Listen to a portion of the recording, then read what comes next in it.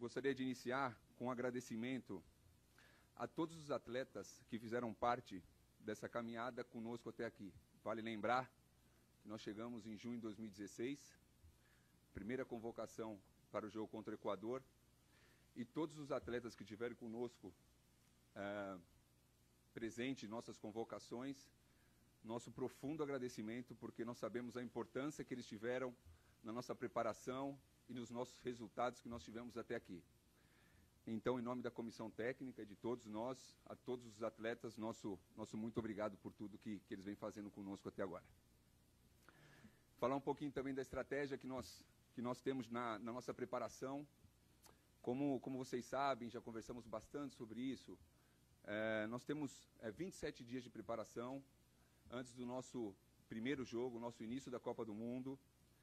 É, dividimos esses 27 dias em três períodos é, entendendo é, ser importante é, dividir um pouco esse período para não ter o cansaço de estar o dia a dia com, uh, no mesmo ambiente, né? e cada vez mais que os atletas possam se sentir confortável, por isso foi, foi escolhido nós estarmos no primeiro momento na Granja Comari, que é a nossa casa, onde hoje temos uma grandíssima infraestrutura, grandíssimas condições de trabalho e logo Inclusive, nós vamos estar apresentando para vocês mais um, uma novidade com o nosso centro de excelência que estaremos uh, juntos mostrando, mostrando aos senhores também.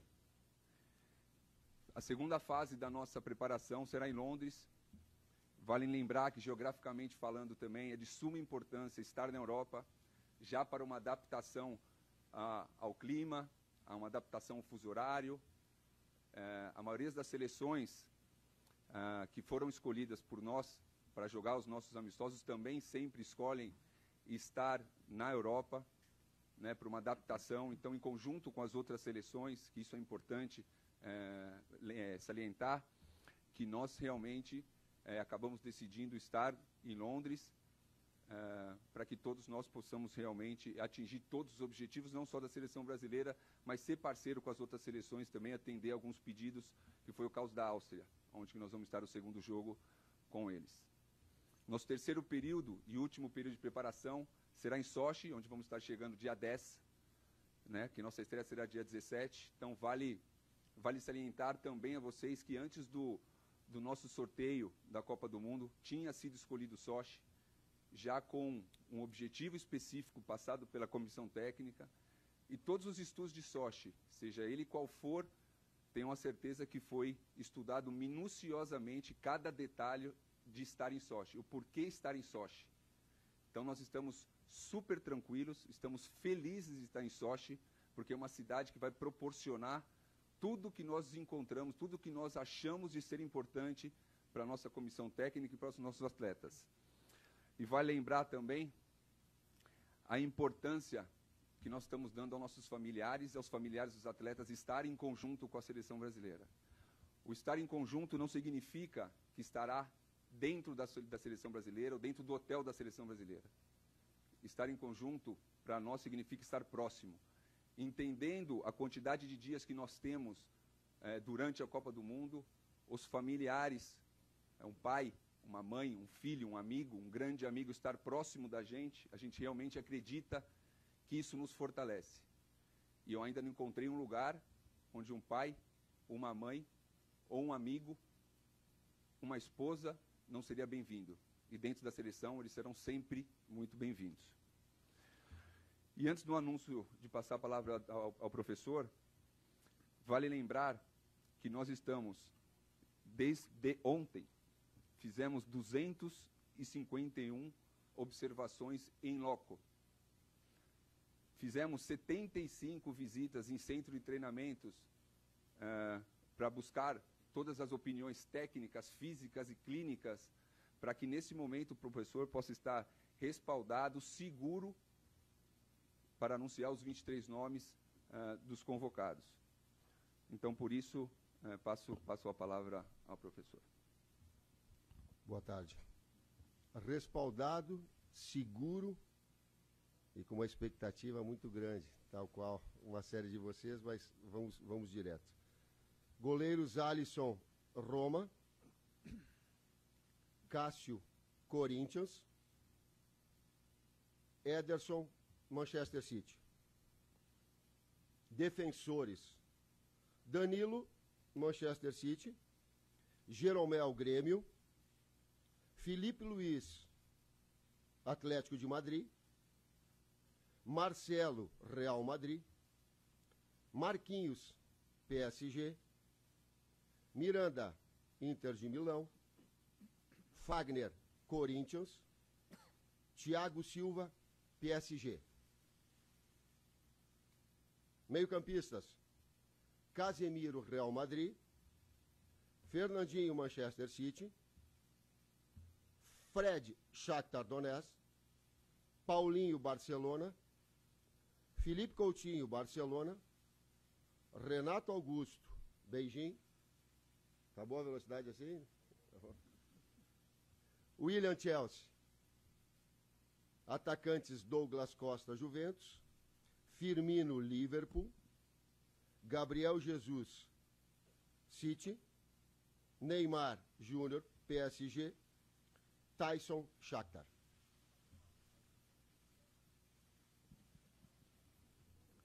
Favor, apresentem-se nome e veículo antes da pergunta, tá? Podemos começar. Pode ir? Boa tarde, então, a todos. Boa tarde, Kleber. Boa tarde, Tite. Boa tarde, Edu. Boa tarde, doutor Rodrigo. É, Tite, você há bastante tempo fala que se preparou muito para esse dia, né? Você pegou a seleção há menos de dois anos, numa situação crítica nas eliminatórias, teve como meta formar um time que classificasse o Brasil, conseguiu e agora a segunda meta é formar o grupo ideal para essa Copa do Mundo. Você, é, no último ano, várias vezes revelou que te inquietava bastante a, a questão de ser justo, de estar bem de acordo com o seu nível de consciência, com as escolhas mais perfeitas, mais corretas. E aí eu te perguntaria, depois de lida a lista com os 23, qual é o nível, nesse momento, de justiça que você sente, qual é essa sensação? Não sei qual é o nível, eu confesso. Mas eu, eu me senti em paz. E ontem, conversando com o Edu, a gente conversando a respeito e da, da, da corrida que ele teve nesses últimos momentos, e ele e o doutor Rodrigo, em função dos acontecimentos, e de deixar e de ter a segurança de todos os atletas com saúde ou, na sequência, estarem com saúde, ele, ele, me, ele me falou uma coisa que me bateu muito forte. Ele disse assim, Tite, tudo que nós poderíamos fazer em cima de acompanhamentos, em cima uh, de dados, em cima de estudos, nós o fizemos. Isso nos dá uma tranquilidade muito grande, mesmo sabendo que Algumas opiniões contrárias elas vão acontecer e elas são justas, porque está base, tá base, uh, uh, baseado em cima de uma ideia de futebol, de um jeito de jogar, de uma forma, de um estilo e de alguma coisa que ela é mais subjetiva. Por vezes a escolha ela é de um detalhezinho, ela é da versatilidade, ela é da maior velocidade, ela é de poder é, é, usar em dois ou três setores, mas que qualquer um outro jogador, daqueles que foram convocados, ou alguns outros que nesse momento estão em grande fase no futebol brasileiro, também foi a possibilidade deles estarem convocados. Titi, tudo bem? Leandro Quesada, Fox Sports. Tudo bem? Boa tarde.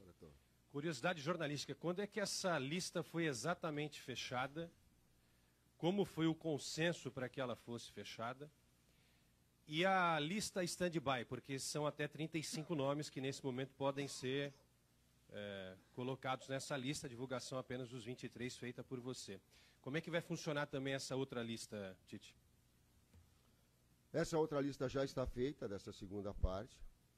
A lista final, uh, um pouquinho antes da gente entrar, uh, o Vini faz uma, um resumo daquilo que possa acontecer. Isso é normal, natural, profissional, da qualidade dele.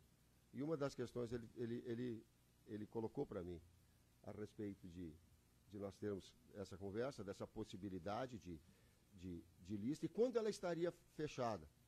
E aí eu disse para ele o seguinte: ela está se fechando agora porque a última informação a respeito do último atleta para ver qual é que era a sua real situação em função dele ter jogado foi com o doutor Rodrigo, era que? Uma e quinze? Uma e meia? Uma e meia. Aí foi a hora que foi fechado. A lista de 35, ela já está feita, ela já está encaminhada também. Tite, Wellington Campos, Rádio Itatiaia. Estou aqui na sua ponta direita, aqui na, na primeira fileira. Eu me recordo que quando você chegou, você perguntou para você mesmo, ah, e agora, Denor? Eu vou te devolver essa pergunta. E agora, Denor? E agora segue o trabalho. E agora é uma nova etapa. E agora é um, é um, é um mundial com de 3 a 7 jogos onde nós devemos estar na, na, na, melhor das nossas condições, mas também olhando etapas. A etapa ela é de preparação. São os jogos que nós temos contra a Croácia e contra a Áustria, e desse período de preparação para que ele seja bem feito. Essa construção passo a passo. Né? Eu, a gente sempre tem que se pautado por essa forma e é assim que eu vejo essa sequência de trabalho. Tite, boa tarde. João Vitor Amorim, da Rádio Jornal de Pernambuco. É, o que é que você mais levou em consideração na hora da convocação, principalmente das tuas dúvidas? Característica ou momento? Eu ouvi uma entrevista muito interessante, eu quero dar, dar crédito a ele. O Nenê, da NBA do basquete, que hoje vai estar jogando, é Houston Rockets, né? E eu não sei o que ele está fazendo, afinal não sei contra quem. Uh, e ele faz e ele fez uma, uma observação a respeito dos atletas que foram. Eu estou falando de alto nível, por isso a comparação ele falou em consistência de carreira. Ele fala em consistência no momento, em consistência na sua sequência de trabalho. Talvez esse, esse fator dessa sequência, dentro da seleção e dentro da própria carreira, elas credenciam a esse momento máximo que é a seleção brasileira. Principalmente em Copa do Mundo. Se fosse um período inicial, te abre perspectivas outras de oportunizar mundial, pressão psicológica, necessidade de desempenho, aspectos táticos, técnicos, físicos e emocionais, eles são fundamental para essa avaliação, dito esse, nessa consistência de carreira que um atleta de alto nível tem que ter. Boa tarde a todos, Fernando Fernandes aqui atrás. Tite, que jogador você teve que esperar até uma e meia da tarde e qual foi a posição mais difícil para você se decidir? Boa pergunta no primeiro item, mas que eu não respondo, que eu não vou responder. A segunda é sobre. Desculpa. A gente procura é, é, é, essa versatilidade e essa ideia, um modelo de jogo, uma forma de atuar essa pergunta é abrangente, ela entra na parte tática. Eu vou responder de parte, na parte tática. Nós gostamos de construir com, com, com, com jogando, com triangulações curtas. Um jogador que tem essa capacidade. O meio-campo e a parte, e a segunda parte do campo, ela é de criação, de construção. Por vezes mais vertical ou mais tocada, e aliás, a composição do meio-campo, que ela é essência, fundamental, que ele saiba jogar nesse setor, o que tenha é, características e, e qualidades para jogar nesse setor. No terceiro, na terceira parte do campo, na parte ofensiva, que ele seja agressivo, que tenha velocidade, que tenha um contra um, que tenha boa finalização, esses atributos. E a modelo da equipe, ele marca hora alto, hora médio e hora baixo. E o único momento de escolha, se ele pode marcar alto ou voltar, é o tiro de meta e a bola parada. Nos demais, a bola é que determina a compactação. É a bola que determina a marcação. Pergunta tática, a resposta tática. Então, atleta que tenha mais ou menos o que trabalhe dentro desse perfil, desse modelo, dessa ideia. Tite, Ivan Drago, Rádio Transamérica.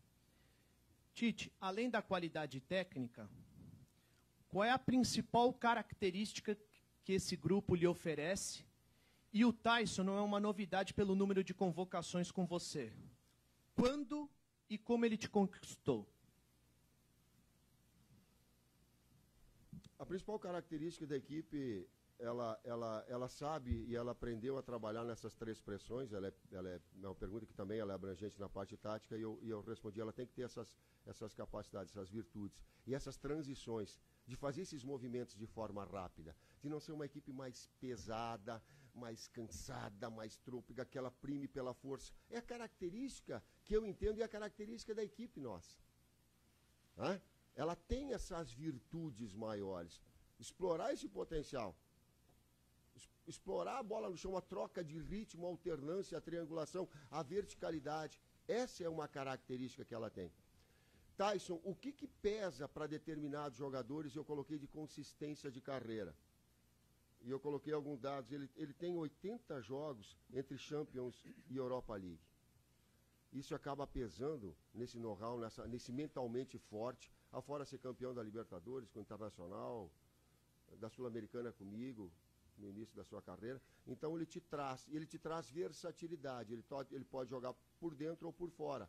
Por quê? Porque também é uma ideia de ter Coutinho fazendo a função que tradicionalmente ele tem, mas fazendo uma função de meio-campista central também. Então essa versatilidade do Coutinho associada a uma versatilidade também do Tyson. Tite, boa tarde, aqui atrás. Eric Faria, TV Globo Sport TV. Tite, na tua primeira lista, tem 15 jogadores que estão agora nessa lista de 23. O que, que isso significa para você? É, é boa pergunta. E eu confesso que eu não sei, não sei, estou dando um tempo para ver se eu consigo te, te responder, mas eu, eu não sei não. Mas eu, eu posso te dizer também que na lista dos 35 tem, tem atletas que nunca foram convocados, mas que nós estamos acompanhando.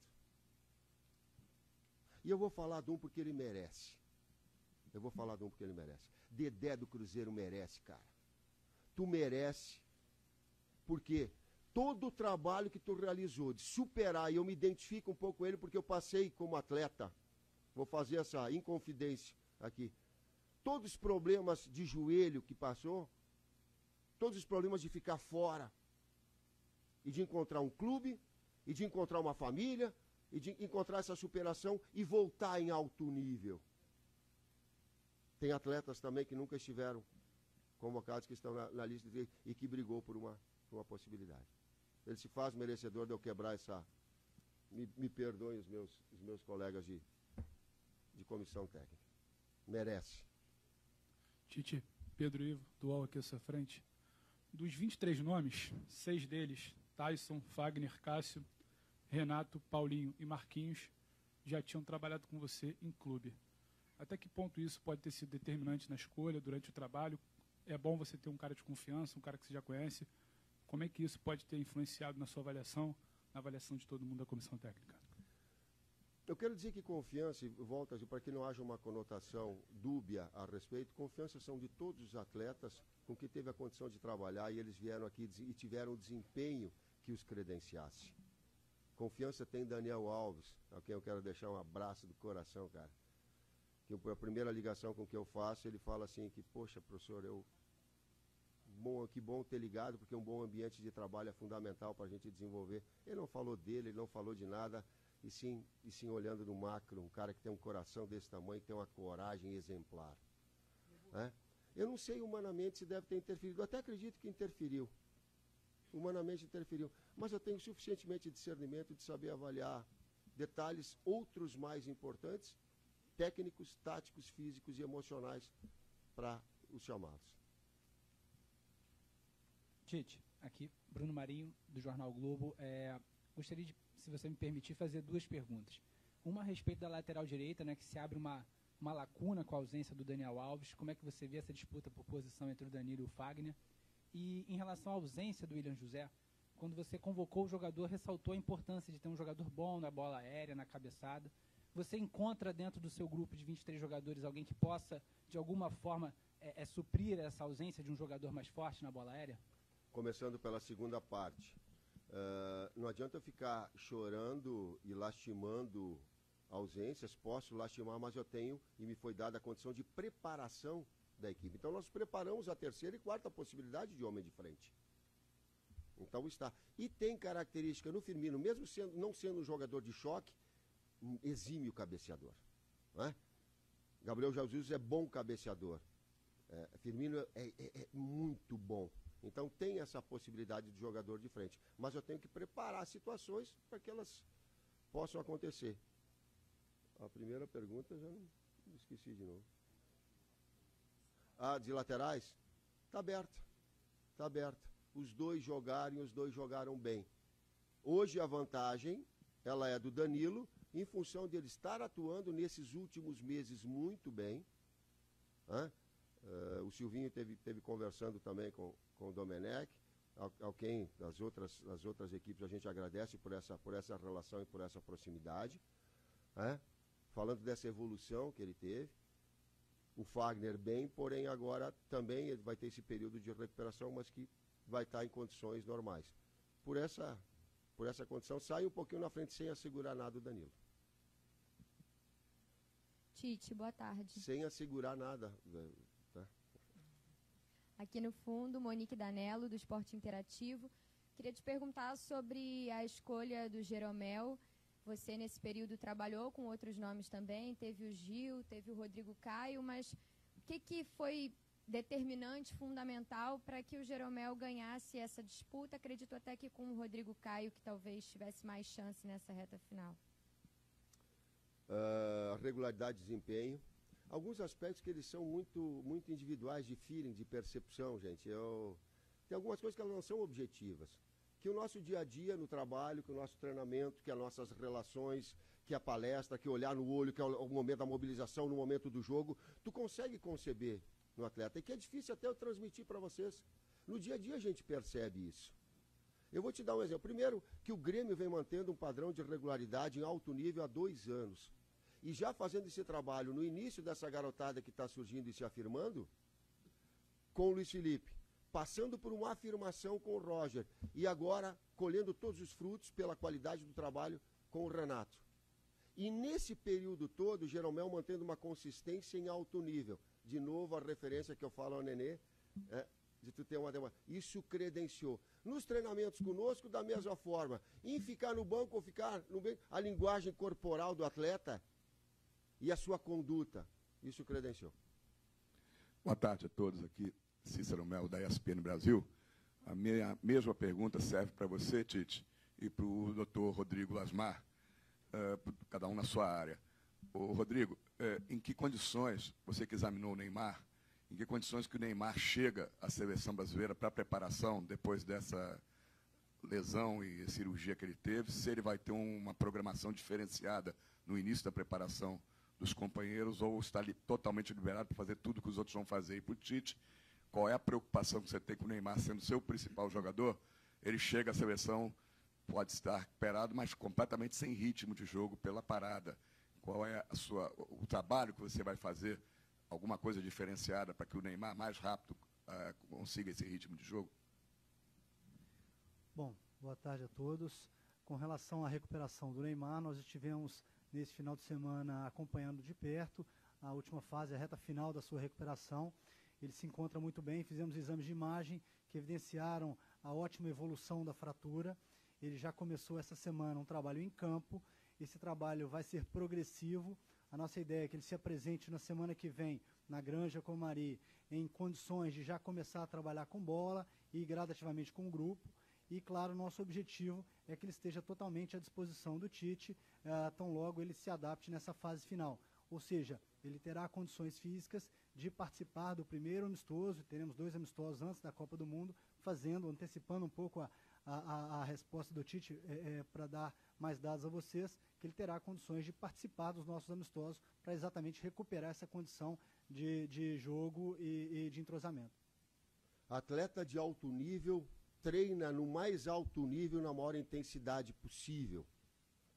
Eles, a única diferença que tem de atleta de alto nível para treinar dessa forma é o aspecto da pressão psicológica, porque não tem a imprensa, não tem o público, não tem todo aquele aparato. O resto é igual. Atleta de alto nível, e eu entendo que técnicos de alto nível, comissão técnica de alto nível, trabalha assim. Então ele vai ter todo esse trabalho no dia a dia de treinamentos para trazer esse melhor ritmo, esse ritmo normal. Tite, que bem na, na tua frente aqui, José Alberto Andrade, Rádio Gaúcha. É, tu revelaste durante esse ano que sempre é um temor do treinador como chegam os jogadores extenuados da temporada, especialmente temporada europeia, e o Daniel Alves foi o caso, assim, perdeste ele para a Copa, o Neymar teve lesão. De um modo geral, como é que tu avalias com as informações que tu tens desse grupo, ele chega num estado. O teu temor ainda persiste, porque tem a final da Champions League com três jogadores da tua seleção, mas tu tens ainda essa preocupação ou que tu já sabe te propõe, te dá a possibilidade de dizer que o grupo chega num estado talvez melhor que tu esperavas, pior, está preocupado? Qual é a tua situação em relação ao final da temporada europeia? É um cuidado que a gente tem, sim. O Fábio tem sido pródigo e fazer esse acompanhamento. O Kleber tem bastante dados que ele pode, pode se dar a, a esse respeito, que ele também ele é o link em, em relação ao aspecto físico.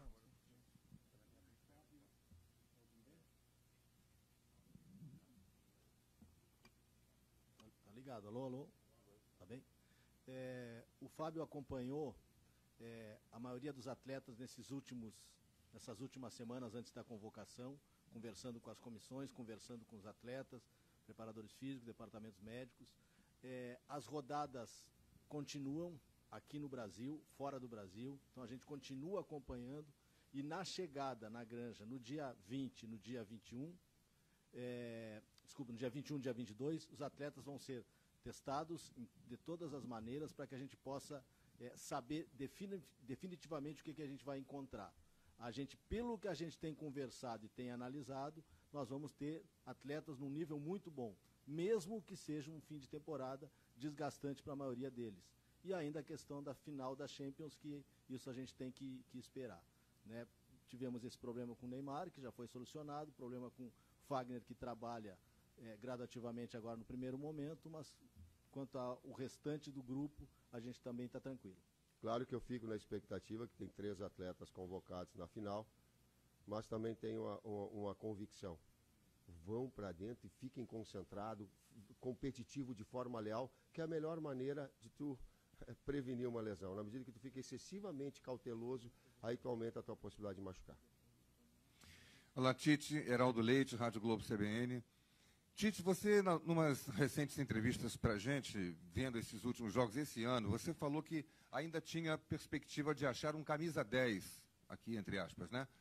E aí você falou nos nomes do Diego, do Lucas Lima, do, enfim, Luan, jogadores que você estava observando para ver se se encaixavam nesse camisa, nessa função do camisa 10 tradicional.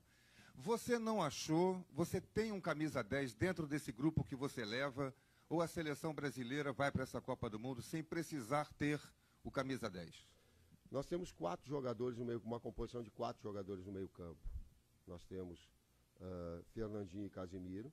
O Fernandinho com dupla função, ele pode jogar como um articulador. Nós jogamos com dois, dois articuladores, um primeiro meio campista e um jogador de, de composição do setor de meio campo, que eu chamo que, que roda, que flutua, uh, chamem o nome que quiser. Então há sempre uma composição de quatro jogadores fortes, porque eu entendo que o futebol no seu meio-campo, a partir daí, no seu aspecto de criação, ele começa a ser superior em relação ao adversário, a se impor em relação ao adversário. Não adianta eu encher de atacantes se eu não criar. É, é pré-requisito. Tá? Não adianta eu ficar querendo me defender e encher de volantes se eu não tiver uma boa posse de bola e não, e, e não, e não tiver essa organização, essa coordenação, essa criatividade. Dito isso, nós temos Renato Paulinho, infiltrador Renato construtor. Nós temos o Fred que se encaixa nas duas posições. E aí o detalhe: a, as, as, das opções, o Coutinho para dentro, teoricamente, como esse jogador de articulação, de 10, se tu possa chamar, mas mais um jogador de meio-campista, é esse jogador para ter essa função. Eventualmente o William faz, mas faz o que o Coutinho faz de fora para dentro, como com uma composição de um, de um quatro, jogador, quatro jogador de meio campo para dois atacantes. Neymar, Gabriel Jesus, Firmino, Douglas Costa, enfim. Tite, boa tarde. Aqui atrás, Raíza Simplício, aqui no meio. É, na verdade, são duas perguntas e uma. A primeira é: você tem alguns jogadores que jogam em várias posições. Um deles é o Marquinhos, que pode atuar tanto na zaga quanto na lateral. Eu queria saber de você se existe a possibilidade do Marquinhos ser escalado na lateral, se passou pela sua cabeça, se você chegou a pensar a respeito disso quando o Daniel Alves sofreu a lesão. E a outra pergunta também envolve ao Marquinhos, é a tua zaga titular, ela já está fechada? O Marquinhos jogou as eliminatórias praticamente todas ao, ao lado do Miranda, mas o Thiago cresceu muito nos últimos jogos, teve oportunidades com você nos amistosos, enfim a tua zaga titular já está fechada ou ainda está em aberto? Marquinhos, uh, nós estávamos assistindo o jogo, uh, eu e Edu, eu acho que era a final do, da, da Copa da Copa da garotada da, da, da Copa, é, Copa, Copa São Paulo, São Paulo, Copa São Paulo. E ali ele foi, e aí nós conversamos e ele e o Antônio Carlos faziam a zaga, o Antônio Carlos está lá no Palmeiras.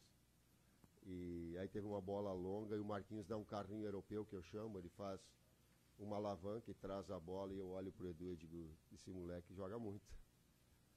E coloquei, eu digo, eu não sei se ele joga de lateral, se joga de zagueiro, se joga de volante.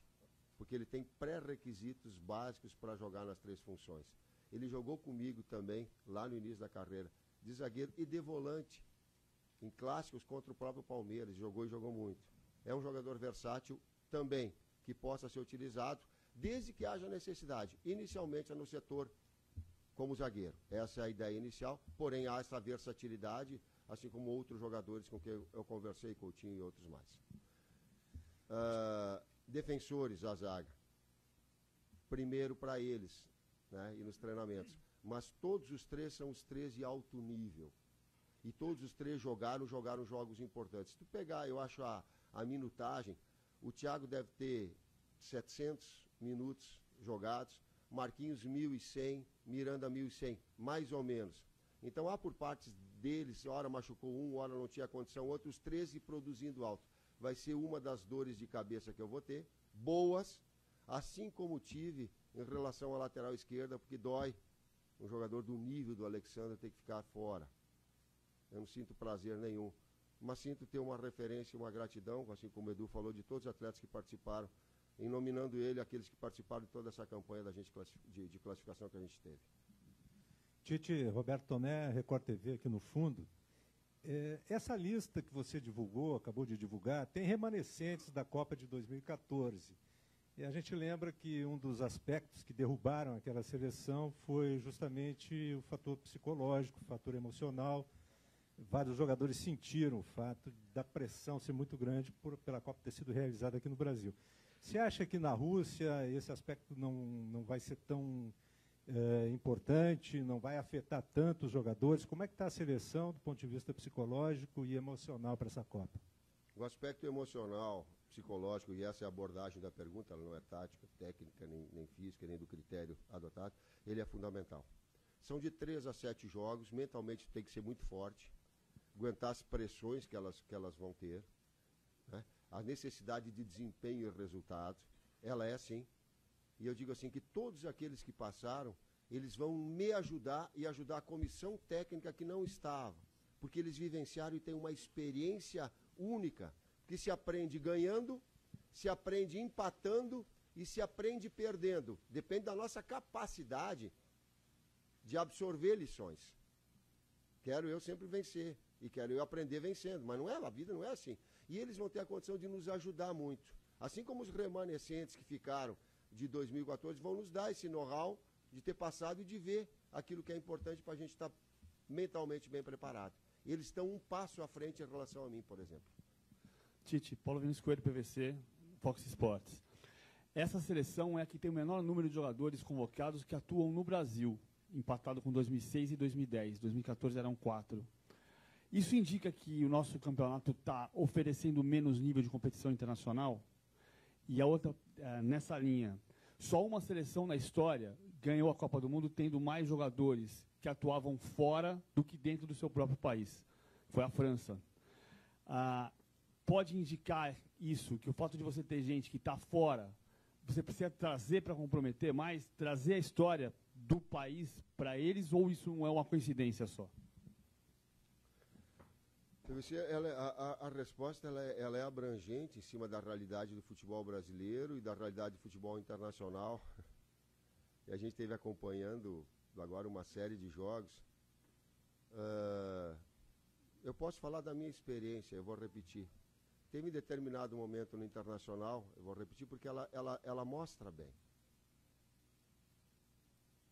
Nilmar, a quem eu agradeço, porque ele foi, me ajudou muito a chegar aqui, Em falando dele, agradeço toda uma série de atletas que me aguentaram, às vezes com palestra de uma hora. Não sei se eu me aguentaria. Dito isso, é, eu pedi para a direção, não vende o Nilmar. A direção, tá, não vendo. Aí veio de novo. Não vende o Nilmar. Veio de novo. Não, quer, veio tantas quantas vezes forem necessárias para aumentar a grana para pagar para o atleta sair. Então é inevitável a concorrência e ela é injusta a concorrência que nós temos em investimento de atletas para permanecer aqui. E o atleta que, vão, que vem, e eles escolhem de fora para poder contratar. Gabriel Jesus é um exemplo típico desse. Eu vi o quanto o Palmeiras estava. Pô, vamos manter, vamos manter, não vamos tirar, não vamos sair, vai dar. Chegou. Conseguiu manter no, no Campeonato Brasileiro. Não tem jeito. Não tem jeito. O poderio, aí vou repetir de uma forma direta. O, o, o poderio econômico tem que relativizar. Ele retira daqui os atletas porque, porque chega num determinado ponto que vai dizer, pô, o investimento ele é muito alto e eu tenho necessidade. E vocês sabem disso também. Titi, boa tarde. Rafael Bessa, Rádio Sagres 730 de Goiânia, aqui bem à sua frente, atrás dos repórteres. É, você concedeu uma entrevista recentemente e disse o seguinte, que seria obrigado a ser injusto com alguns jogadores. Sim. Eu gostaria de saber se você se sente, é, nesse momento, entre aspas, culpado por não convocar um jogador como o Arthur, por exemplo, e quais os outros jogadores que você entende que são tão injustiçados como ele?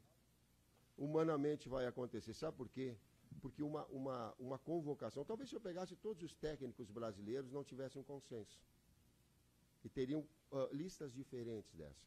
Eu não quero e não tenho a pretensão de uh, ser consenso e de colocar dessa forma, não mas apenas externar uma ideia de futebol e o porquê delas. Isso é uma responsabilidade. Quem está nos ouvindo, quem está nos acompanhando, sabe que ideia é, esse cara tem. Ele é o técnico por quê? O que, que ele pensa a respeito? Qual é que é o critério estabelecido? O que, que ele vai fazer? Qual é que é a ideia? Agora, concordar ou não, pô, ele é da, do livre-arbítrio, ele é da ideia de cada um. Às vezes, porque as decisões elas são do feeling, volto a dizer, da sensibilidade, não são do, dos números. Ela é da capacidade de cada um. Ela é da ideia de futebol com que a gente entenda ser melhor. Tem cara, pô, eu quero um time mais alto, mais forte, porque na Copa vai ter jogadores de bola parada alta. As escolhas, elas são de cada um e a gente respeita. As minhas, e elas vão acabar acontecendo com algumas injustiças em função de opiniões diferentes. E opiniões se respeitam. Mas também se externa aquilo que é o critério das, das convocações. Tite, aqui ó, Maurício Fonseca do Jornal do Brasil. É, é um risco calculado você levar dois jogadores, dois laterais que estão recém-recuperados de contusões certamente sérias, como o Wagner e o Felipe Luiz. Foi um risco calculado, dois jogadores laterais que não estão completamente, é, 100% fisicamente? Bom, uh, primeiro, o, com relação ao Felipe Luiz, o Felipe está totalmente recuperado da fratura, temos acompanhado a evolução já desde o momento da, da cirurgia, já jogou pelo seu clube e do ponto de vista médico ele está completamente recuperado, nenhum problema. Com relação ao Fagner, nós temos, uh, antes da, da, do início da competição, um tempo mais do que suficiente para que ele esteja recuperado. Nós vamos trabalhar e a nossa, a nossa ideia é que tenhamos o jogador em condições de, de treinar juntamente com o grupo de participar dos amistosos também anteriores e preparativos para a Copa do Mundo. Então, do ponto de vista médico, nós temos toda uma programação específica para que o Fagner, especificamente na sua pergunta, esteja em prontas condições para ser utilizado junto com o grupo ainda nos amistosos. Então, temos tempo para a recuperação do jogador. Assim como temos tempo também para a recuperação física nesse caso. Né? Como o doutor falou, o Felipe já vem atuando, e o Fábio, através de, de, de, de estudos, através de, de, conversa dentro do departamento com fisiologia, chega à conclusão que a gente tem condição de dar ao Fagner esse, esse nível de preparação física, faltando 27 dias para a estreia na Copa. Tite aqui no meio, aqui Alexandre Losetti, do Globoesporte.com.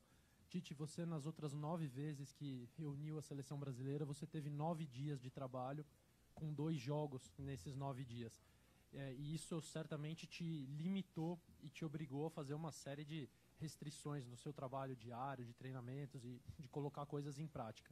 Agora, com 27 dias até a estreia da Copa do Mundo, é, o que, que você pode fazer de diferente? O que, que você espera de evolução? É, você acha que é, você se obriga a ver a seleção jogando melhor ou pelo menos tendo mais alternativas na Copa do Mundo em razão desse tempo a mais que você vai ter pela primeira vez na seleção? Primeiro, de retomar o padrão que ela teve durante essa sequência toda, Alexandre. Esse primeiro passo atingido, eu vou ficar extremamente feliz. Retoma aquilo e, e aí eu vou ter toda a alegria, a satisfação e a pressão de estar aqui, mas dizer o quanto eu estou feliz por aquilo que ela produziu. Né? Nessa sequência de, de, de, todos os jogos. Pega essa média, nós vamos querer retomar isso. Esse é o primeiro estágio. Afora isso, estrategicamente, a gente vai, vai, vai conseguir trabalhar alguns detalhes. Né? Estrategicamente, é nas virtudes e, e, e, e, defeitos que o adversário possa ter, tu possa induzir e preparar. Treinar e, botar um volume mais em cima de, de, posições, funções que elas possam exercer nessa competição leal que os atletas têm por posição. Não adianta eu querer ficar escondendo que Renato Augusto não compete com Fernandinho, que não compete com Paulinho. Compete sim. Que compete com o Fred, que compete. Compete sim que Marquinhos com, com Miranda, com o Thiago, com, com, com, com Jeromel, compete sim. A diferença é competir com lealdade. Essa é a diferença. Então nós estabelecermos e, e, e jogar esses atletas para o melhor nível técnico possível, estabelecendo algumas variações. Em termos de treinamentos específicos, aí colocar aquilo que em 2014 eu trouxe para mim, apoio à, profundidade, atacar, atacar espaço, ultrapassagem, infiltração, chama do jeito que quiser esses homens da frente para ter essa, essa possibilidade né, de retomar um padrão de, de, de, bolas paradas ou de bolas paradas ofensivas, criar alguma situação que ela possa surpreender o adversário. E está aberto aquelas possibilidades, aquilo que o campo fala, em alguma situação que, que ela possa surgir dentro dos próprios treinamentos. Futebol e uma equipe é um. Não quero usar o termo, mas é um organismo vivo. Ela fala. Eu quero tomara que nós tenhamos aí o feeling, a sensibilidade de olhar, de ouvir, de perceber, porque ela te dá por vezes soluções que tu não imagina. A história tem me mostrado assim. Eu concebia uma coisa, na sequência eu via que a, que a equipe se formava e se consolidava de outra forma. Eu quero ter esse, que nós tenhamos aí a comissão técnica, todo esse feeling, essa percepção, claro que com na hierarquia, depois o, o técnico batendo, mas de a gente ter essas percepções. Tite aqui atrás, é, Henrique Marques, da Mova Press. É, quando sai a lista, a gente foca muito em quem ficou dentro, quem ficou de fora, mas é, olhando você e o Kleber aí, eu fiquei pensando na, na, caminhada de vocês dois, né? Não agora na seleção, mas lá atrás, quando vocês começaram lá no interior do Rio Grande do Sul. E como é que foi o momento que você fechou a lista, que você assinou? Pensou em alguém? Que lembrança veio? Como é que foi a intimidade da, da, da, sua cabeça nesse momento, Tite? A Copa já começou lá contra o Equador quando vocês assumiram, mas agora parece que a coisa fica mais real, né? Como é que foi chegar e alcançar isso que talvez seja o ápice da carreira de um treinador, que é estar numa Copa do Mundo?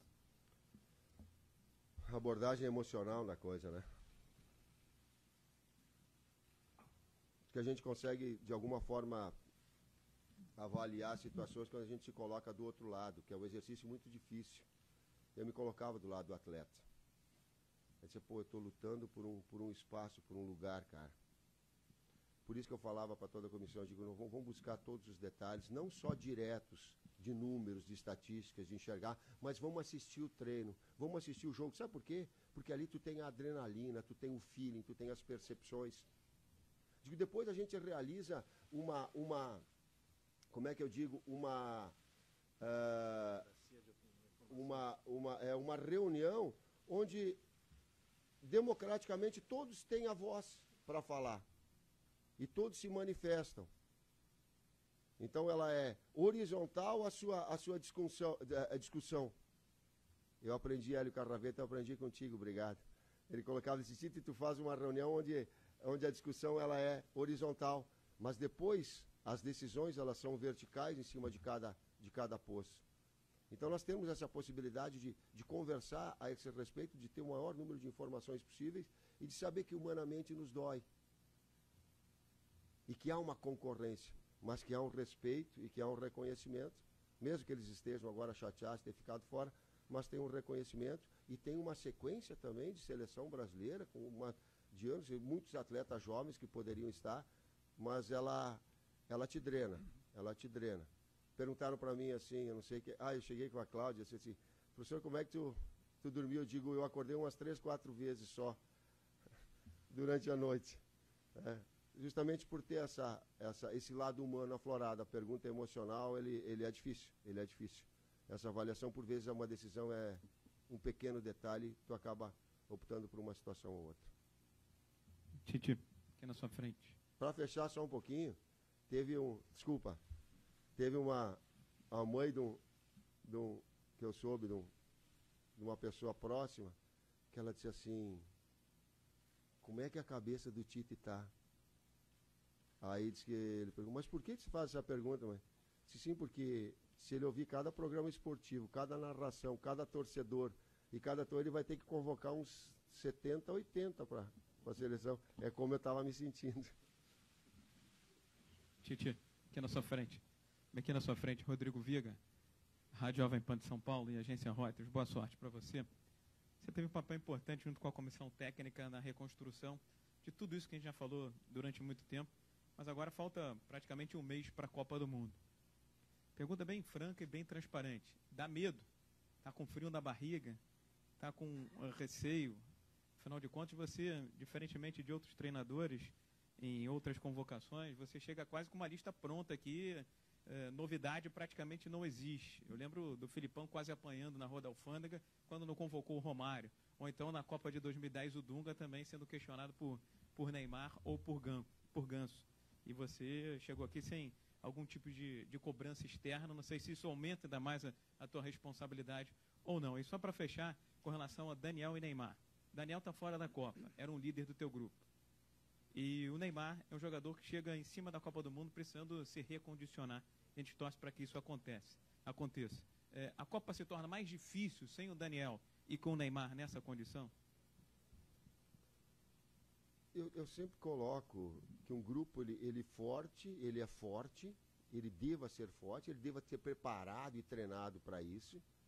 Nos diferentes momentos em que saíram um atleta ou outro, grupo tem se mostrado dessa forma. O Dani é uma liderança técnica e, e, e como pessoa impressionante. Mas isso também nos remeteu a uma preparação de Fagner, de Danilo e de Rafinha da mesma forma, porque era o nosso trabalho de preparação e as oportunidades surgem. E elas não batem a porta, surgiu para eles. Vai seguindo o trabalho com a mesma confiança tal qual eu tinha pelo Dani. Claro que nós vamos sentir falta? Vamos. Mas tem um outro caminho, tem essas outras oportunidades. Eu fui guinado a técnico do Grêmio sendo a terceira opção. Que a primeira era Falcão, e aí ele me indicou. A segunda era, era Carlos Bianchi. Aí o Grêmio não podia dizer, ó, tem um cara aí que, pô, treinou pra caramba. Aí na indicação dele, os caras foram na pilha e me contrataram.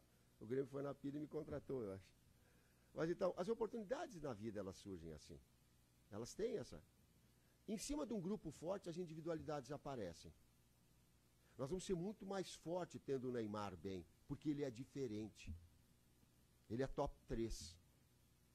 Mas para ele estar bem, a equipe tem que estar tá sólida tal qual ela teve sólida contra a Rússia e contra a Alemanha. Aí potencializa. Eu estou na expectativa, sempre a segunda pergunta que eu lembro, a primeira eu não lembro. Não. Humanamente sim, eu não sou, eu não sou super-homem. Não sou super-homem e tenho a coragem para afirmar. Mas eu tenho, quando eu olho para trás, talvez eu nem saiba que eu que eu tenha tanta coragem assim para enfrentar em situações difíceis ao longo de sei lá quanto tempo de carreira como técnico, quase 30, e passando por situações que elas são desafiadoras e que, e que alguma, como essa Copa do Mundo, no ápice, ela, ela tem. Mas a minha coragem, a minha busca de, de fazer o melhor trabalho possível, ela está acima, pode, pode ter certeza disso. Boa tarde, Tite, ao fundo aqui à sua direita. Você falou muito em consistência de carreira, talvez isso tenha pesado para o Felipe, Luiz, para o Tyson também. Mas você falava do Daniel, que é um cara que tem uma carreira consistente, talvez um, com a maior carreira né, na, na seleção. E você tinha como opção chamar o Rafinha, que é um cara com uma carreira consistente, mas outros dois levaram vantagem. Quais as vantagens, então, do Fagner e do Danilo? Pequenos aspectos eles são. Se eu, se, eu, se eu te responder assim, daqui a pouco eu vou estar desmerecendo e eticamente não, não é legal. Tem que fazer de três que podem, se tu olhar o aspecto consistência de carreira, o Rafinha sim. Mas eu, são todos os aspectos que tem técnicos, táticos, físicos e emocionais. E se fosse escolhido o Rafinha também, também estaria sendo bem escolhido. Né? Qualquer um dos três foi um dos, dos setores que me deu bastante dor de cabeça, eles teriam a condição de, de estar presentes. Ok. O Tite, aqui no fundão, por favor. Kilmer de Campos, Timaço da Vale FM, da nossa querida Juazeiro do Norte. Eu queria saber a tua opinião com relação a favoritismo. Aqui, ó. Aqui é a tua esquerda. Mão esquerda levantada aqui. Com relação a favoritismo. Tu gostas quando falam que a seleção brasileira é favorita para a Copa do Mundo ou é melhor chegar ali de mansinho? Porque em 82 a seleção do Tele, que jogava o fim da bola, era a favorita e dançou para a Itália. Tu gostas dessa história, dessa pecha de seleção favorita a conquistar a Copa do Mundo da Rússia, Tite? Eu gosto que cada pessoa fale a sua verdade.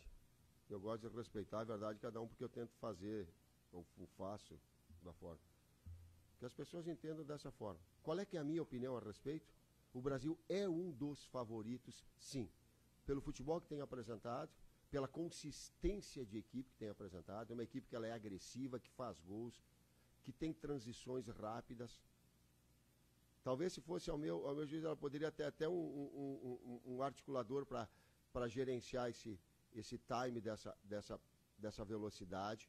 No que a gente busca com o Coutinho, no que a gente busca com, com, com o Renato Augusto, com o que o Fernandinho possa fazer e está tá jogando, ele possa, o setor de meio campo, ser esse regulador de, de velocidade, de intensidade que ele, que ele possa ter. E assumir essas situações, porque eu também vejo. E as outras pessoas que o colocam, cada um coloca a sua verdade. Não é fugir, ser falso, humilde e nem ser arrogante. É encarar uma verdade de fatos que, elas, que eles estão aí. É uma das favoritas, sim. Tite, boa tarde. É, Mauro Naves aqui, é, da TV Globo. Você vai ter um mês é, para trabalhar antes da estreia. Eu queria saber se a ideia, como ideia, é você, nesse um mês, imaginar que o melhor é o Coutinho por dentro, com o Ilha por fora, ou é o, o, o Coutinho por fora e outro cara ali por dentro, seja o Renato, seja o Fernandinho. Ou seja, você pretende trabalhar com a ideia de estrear na Copa com um time que irá até o final, ou necessariamente com ideia você analisando do jeito que você analisa adversários, você já sabe que vai alterar essa equipe de acordo com o adversário durante a Copa. Também esse aspecto. É... Eu falei antes em retomar um padrão. Tu está falando em termos de treinamento e no aspecto técnico-tático. A pergunta, nós, nós, retomar um padrão que nós estávamos né, durante essa, essa eliminatória, a média toda. Trabalhar essas, essas variáveis, ficar observando para que que condições ela se apresenta, melhor nível de cada um, a retomada e essas variações que possam ter, sim, desses jogadores nesses setores. Mas tem uma coisa que eu, que eu tenho como uma ideia clara. Eu não gosto, e não foi a minha história toda, de ficar mudando escalação em função do adversário. Eu, eu particularmente. A equipe ela tem que se moldar, ela tem que se ajustar às características do adversário e saber tirar proveito de uma situação ou outra. Por quê? Porque o aspecto entrosamento, as triangulações, os triângulos, os links, a, o jogar sem pensar, ele se estabelece na medida que tu repete, que tu repete, que tu harmoniza. Até porque a criatividade ela vem depois dessa organização. Posição, função, depois tu tem a, o processo criativo. Quero fazer com as duas, mas não sei qual vai acabar batendo, mas essa é a ideia. Tite, aqui Smigol, boa tarde. Smigol, Mix FM. Bom, primeiro eu não consigo falar com vocês sem dar os parabéns. Queria dar os parabéns aí para vocês. O trabalho, concordo, todo mundo concorda. Eu acho que o trabalho é excelente. E agora que vai começar a respirar mesmo a Copa do Mundo, os torcedores voltaram a acreditar muito na seleção brasileira. Queria saber o que, você diria para a torcida, que está muito empolgada aí com essa seleção, voltou a torcer muito pelo Brasil. tanto para os brasileiros que vão à Rússia assistir lá e quem vai ficar torcendo aqui. O que você diria, alguma coisa para a torcida que está tão esperançosa aí com essa seleção? Parabéns aí para vocês. Obrigado, obrigado pelo parabéns. E segundo, que tu falou meia, meia verdade. A outra verdade que vai terminar aqui, eu vou sair dali e vocês vão colocar todo mundo no cantinho assim, ó. Pô, a convocação foi boa, mas poderia ter convocado esse. É, é, vai sim. Não, mas esse daqui eu podia ter lembrado, ó. Vai sim. Vamos falar a verdade, vai sim. É, é, pro torcedor. Eu, a gente vai querer fazer o melhor trabalho possível. A gente vai fazer um trabalho que ele vai estar equilibrado cabeça e coração, corpo e alma. Use o que quiser para que a gente possa apresentar um grande futebol. Né? Que a equipe ela, ela, ela, ela seja aquilo como ela fez de média, que ela possa crescer durante a competição. E claro que ela vai objetivar o título, mas ela vai ter que, ser, vai ter que conquistar e vai crescer para buscar essa, essa, esse, esse, esse postulante a esse título para chegar na final. Por etapas, sim.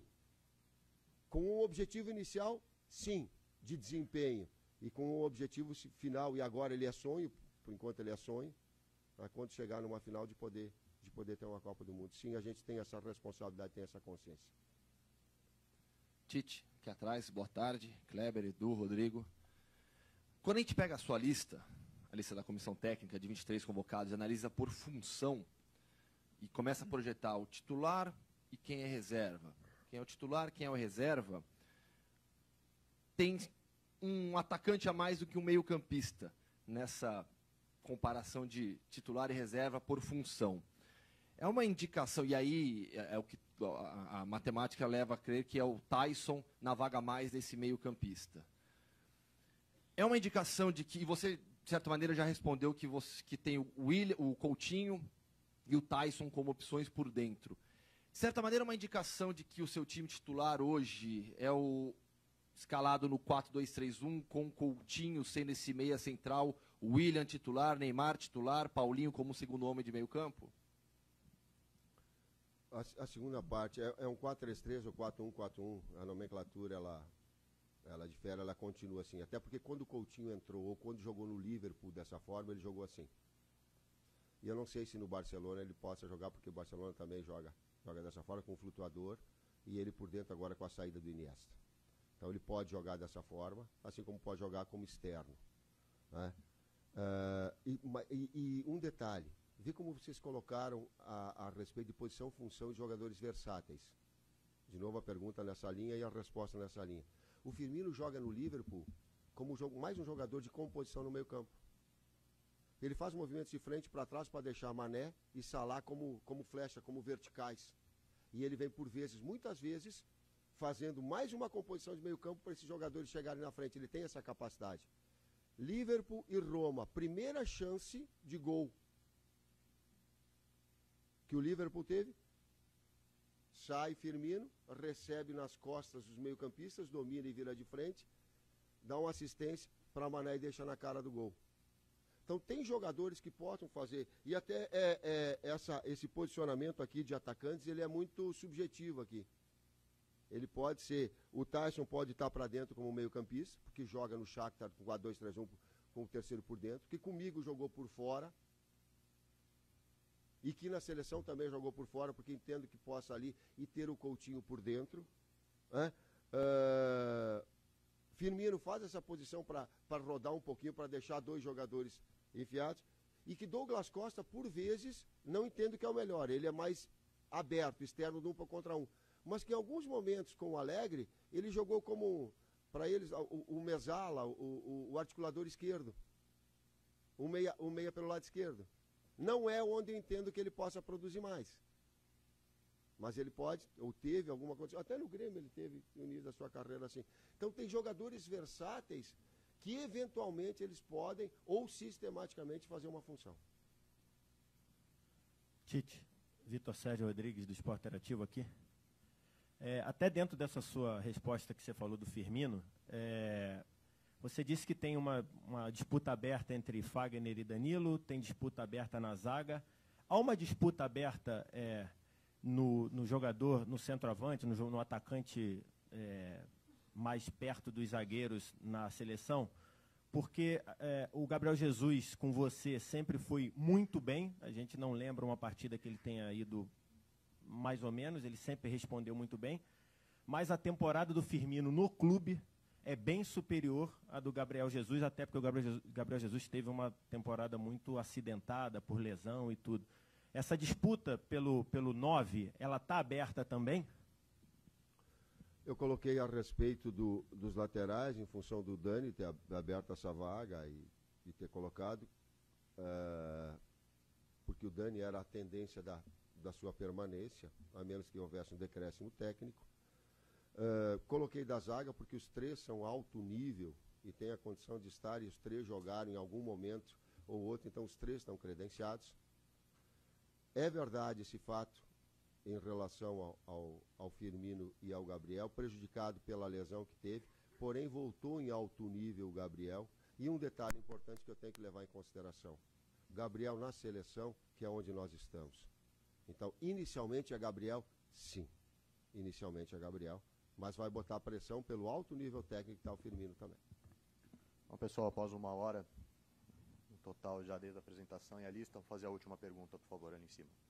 Boa tarde, Tite. Felipe Esboril, da agência Rádio Web e também da Rádio CBF.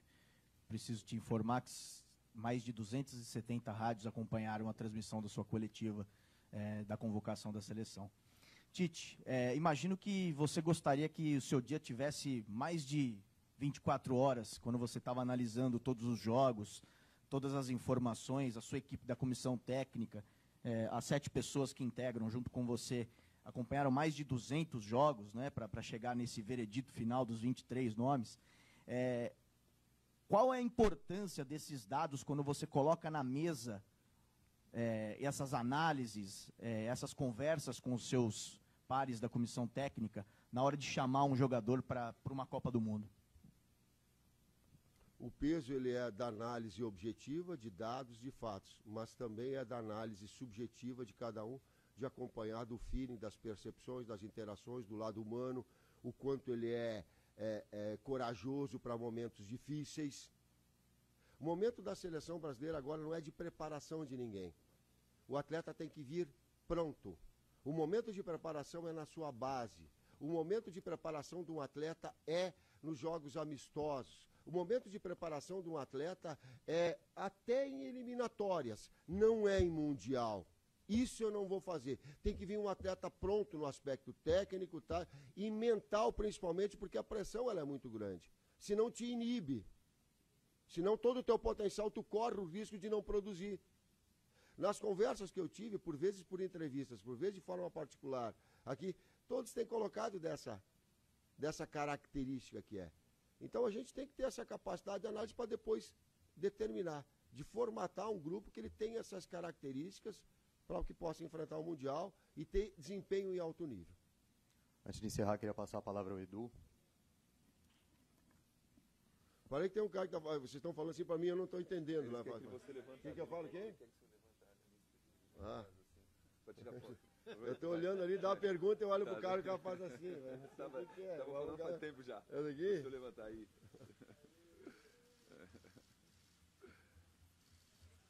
Vou aproveitar enquanto vocês fazem as fotos. Daqui 10 minutos a gente começa a zona mista com os membros da comissão É. técnica.